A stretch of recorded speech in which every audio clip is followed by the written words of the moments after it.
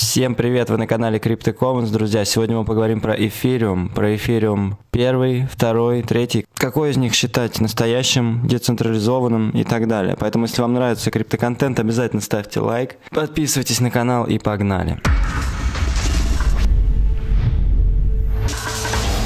Начнем с того, что Виталику Бутерину, основателю Ethereum, задали неудобный вопрос на недавней конференции, которая проходила в Праге. И Давайте послушаем, что он говорит. Очевидно, чтобы понять, насколько этот проект будет успешным через 10-20 лет, нам предстоит подождать. Конечно, может получиться, что он потерпит неудачу. Возможно, произойдет тот самый случай, когда люди из Силиконовой долины поймут, что каждый из них может создать первого уровня блокчейн, затем взять и заплатить огромные взятки всем, а затем забрать себе все деньги и уйти во свояси. Несмотря на все происходящие возмущения окружающих и изначально заложенные планы и ожидания всех. Есть множество сценариев, по которым все эти проекты могут потерпеть социальный крах.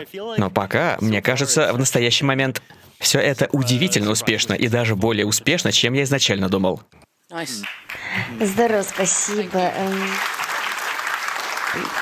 Я особо в эфире ничего не понимаю, так что простите меня все, пожалуйста, но он мне так нравится. Это влажная мечта, которая становится реальностью. Вы можете взять и все записать, при этом не можете взять и все переписать. И это так здорово, так как на самом деле позволяет записывать историю человечества такой, как она была. Что, простите? Что, простите, все записать и нельзя переписать? Посмотрите еще раз на Виталика, как он себя повел, когда он это заговорила. Секундочку, ребята, а как же Ethereum Classic тогда? И остановка торгов в 2016 году? Ой, нет, ну тут надо разбираться, конечно. А есть ли какие-то механизмы, которые позволят эфиру не стать централизованным бегемотом? Это хороший вопрос. Я думаю, что... Ну, то есть, одно из действительно хороших вещей, которые сейчас делает Ethereum Foundation, это, я думаю, огромное количество ключевых людей, которые вовлечены, и которые действительно не хотят стать централизованным королем. И никто действительно не собирается стать очередным Марком Цукенбергом. Типа, многие, типа, собираются уйти на пенсию, скажем, типа, через пять лет, и которые хотят, э, типа, чтобы вещи оставались работоспособными после их ухода, и система оставалась устойчива. Типа, м- м- люди... Эм, Типа многие люди активно избегают получения власти, и а наша исполнительный директор Ая Мегучи очень много говорит о философии вычитания, которая по сути означает, что вместо того, чтобы Ethereum Foundation выступала видным управленцем внутри экосистемы, у фонда есть четко выраженная задача, и она заключается в том, что наша работа заключается в расширении возможностей внешних участников, взращивая их, делая их еще более сильными, а также делая более независимых со временем.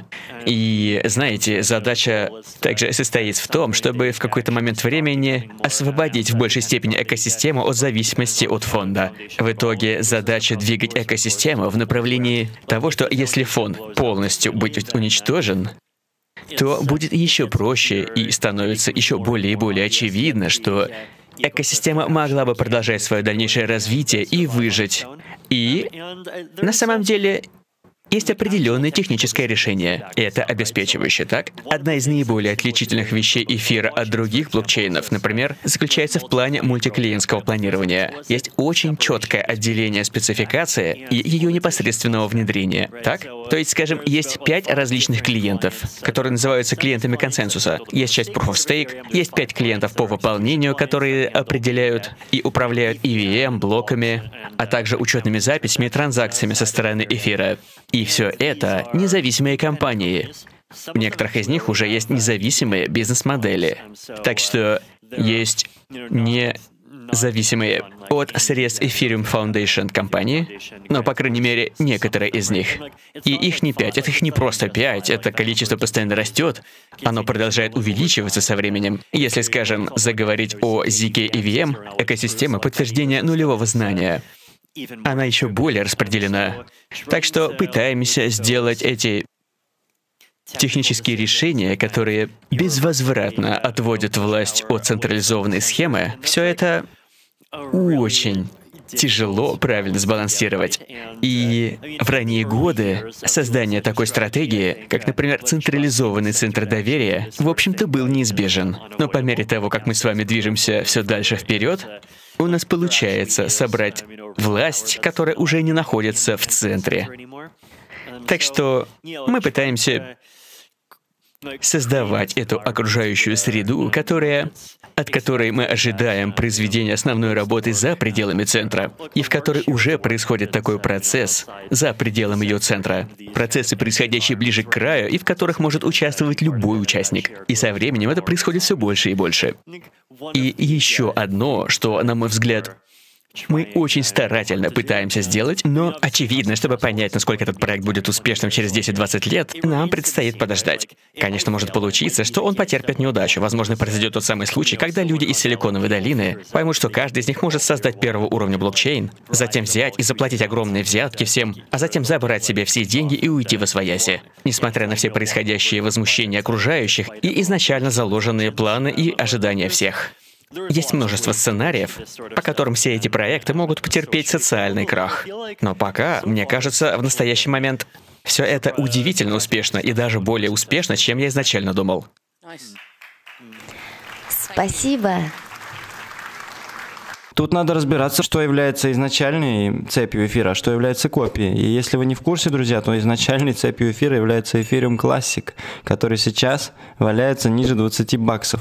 А его соотношение к эфиру равняется 0,01. То есть 1 к 100. Ребята, это просто, я не знаю, ну тут как бы здравая цель, я уже говорил на стриме, это один к одному, паритет. Потому что это настоящий подлинный эфириум. Он работает все еще на алгоритме Proof of Work. Там никто не делал никаких откатов транзакций и так далее. Ну так вот, ребята, говоря про Ethereum Classic, про Ethereum и вообще про вот этот Ethereum Work, вот есть еще Ethereum Proof of Work, это уже второй. Говоря про ваш любимый Ethereum Ethereum, вот, Ethereum Work, это и есть тот Ethereum, который стоил недавно 5000 долларов. Вот сейчас он стоит 1 наноцент. А, это к эфиру он. Вот он, 2 доллара он сейчас стоит. 2 доллара он сейчас стоит, ну капец, чуваки, это вот до сих пор сейчас майнит этот эфир. Но надо понимать, что это был эфир 2.0, уже по сути. Хотя они называли эфир 2.0 э, тот, который Proof of Work, но по сути тот, который Proof of Work, который основной эфир, это уже эфир 3.0, друзья. Вот этот вот эфир, который мы с вами торгуем на большинстве бирж и держим в своих кошелечках, это уже эфир 3.0, надо понимать это, друзья.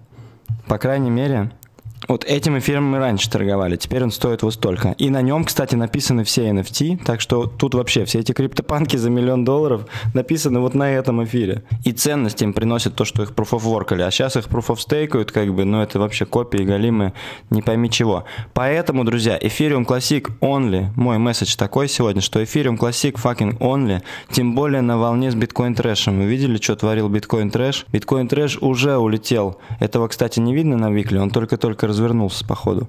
Но он уже улетел на 3 икса с чем-то, а Ethereum Classic еще не улетел на волне форков. Вот, по биткоин кэшу всех поздравляю, кстати, кто забрал прибыль с лонга, кто в прибыли сейчас в шорте, потому что вчера мы набирали шорт по 300 с чем-то. И я пока держу микро-шорт, сейчас буду добирать макро-шорт, если он улетит выше. По рынку, думаю, не знаю, сильная свеча вниз, могут сейчас, конечно, все это дело еще слить. Держу все позиции, лайткоин, биткоин, эфир, мана, XRP в минусе. Лайткоин шикарно разгрузился по сотке частично. Частично, но жду выше.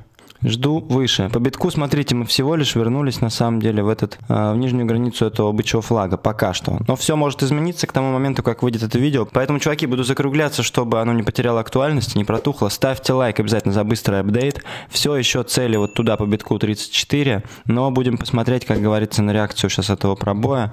Ставьте стопы, ставьте тейки, всем профит-роли. Добавляйтесь к нам в телегу обязательно, друзья. Там много всего интересного. Ссылки на все лучшие биржи в описании. Спасибо спасибо, что посмотрели этот выпуск. Я напоминаю, что мы все еще очень-очень-очень-очень, сука, дешево стоим по всем вообще параметрам. Поэтому не поддавайтесь на панику, на провокации, откупайте просадки, buy the fucking deep. Скоро увидимся, всем профитроли, это был Гриня. Спасибо, что смотрите. Альты очень дешевые все просто, нереально, поэтому действуйте.